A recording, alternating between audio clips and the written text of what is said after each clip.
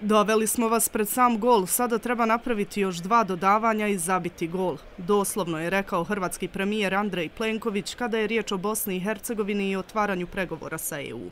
Da bi nas uputili ka cilju, najavljuje Plenković, mogao bi u narednih nekoliko sedmica stići u BiH, zajedno sa predsjednicom Evropske komisije i nizozemskim premijerom. Namjera je da podstaknu BiH političare da preuzmu dodatne korake na putu otvaranja pregovora u martu.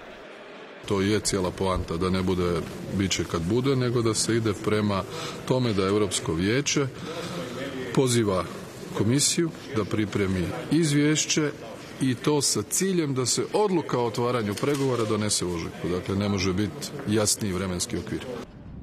U očekivanju dobijanja datuma za otvaranje pregovora, Vijeće ministara BiH usvojilo je prijedlog zakona o spriječavanju pranja novca i finansiranja terorističkih aktivnosti i postigli dogovor o sporazumu sa Frontexom.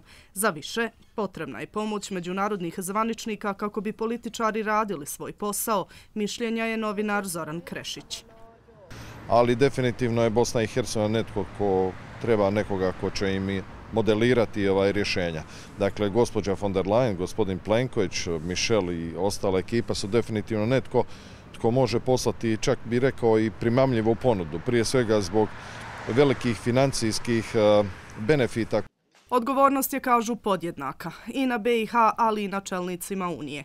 Posebno je zanimljivo što bi mogao doći nizozemski premijer, jer je upravo nizozemska bila najglasnija protiv otvaranja pregovora sa BiH a možemo li očekivati da BH političari preuzmu odgovornost za ono što nas čeka? Bez obzira na sve uslonačeno htjenja i, i volju jedne, druge, treće, koje god strane, opet su njima početne osnove svima ovaj, ono što je bio uslonačeno i uzrok i posljedica svega što se dešavalo. Tako da dok god osjećaju da li pritisak, da li strah, da li bojazan, bilo šta, da će biti ugrožene te početne osnove, dotle će biti svi tih silnih obstrukcija. Ja se nadam da će naši političari znati iskoristiti ovaj eh, značaj, ovu značajnu posjetu da e, razuvjere, to jest da uvjere nizozemce da daju podršku Bosni i Hercegovini i da ne razmišljaju ni o kakvom vetu ili zabrani eh, davanja pregovaračkog statusa.